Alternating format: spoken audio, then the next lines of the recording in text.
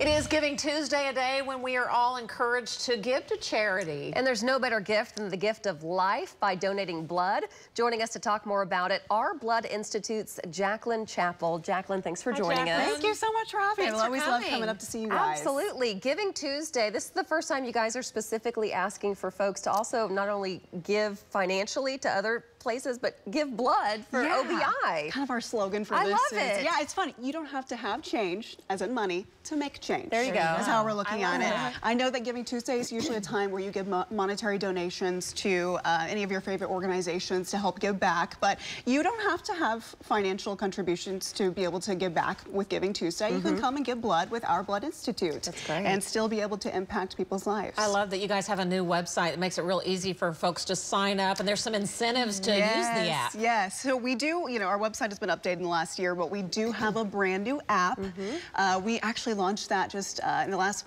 month or two, but we're finally trying to point folks to it because we wanted to make sure that everything's working right before we officially launched it. But Mm-hmm. yes, our new app is really easy to go on. You can just go to the App Store and search for Our Blood Institute. This is on Android and on the App Store, the Mm-hmm. Apple App Store. And you can just download it. And if you make an appointment on the OBI app and keep your appointments, as in go and give blood, you will get double the donor store points. So we do have an Our Blood Institute donor store.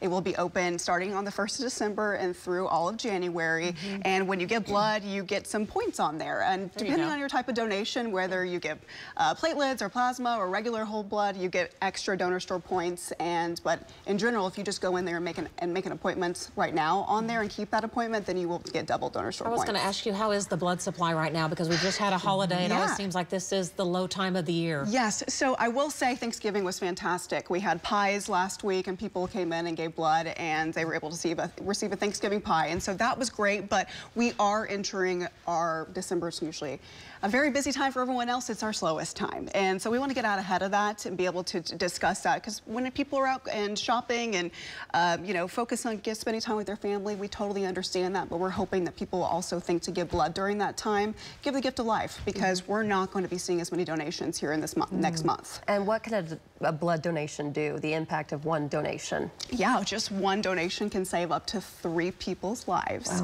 And you know, we're- it only takes about an hour of your time. Mm-hmm. So my thought is, why why not do it? What's the mm-hmm. excuse? Mm-hmm. Yeah.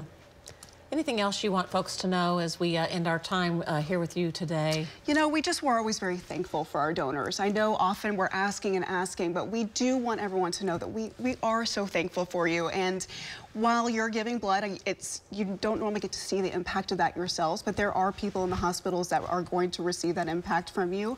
And you are, at the end of the day, giving the gift of life. And myself, I remember what it was like having a family member come home for on basically able to spend the holidays with a family member that had just received a blood transfusion and that means so so much there are other families that are hoping for the same things Yeah. so some people are spending their holidays in the hospital with a loved one and know that you're going to be helping them Yeah. All right, so obi.org. Yep. Or go check out the new OBI uh, app. Jacklyn, thanks for Thanks, talking to us. I thank you appreciate it. guys see yeah us. hope We you'll give blood it. for giving tuesday Yeah.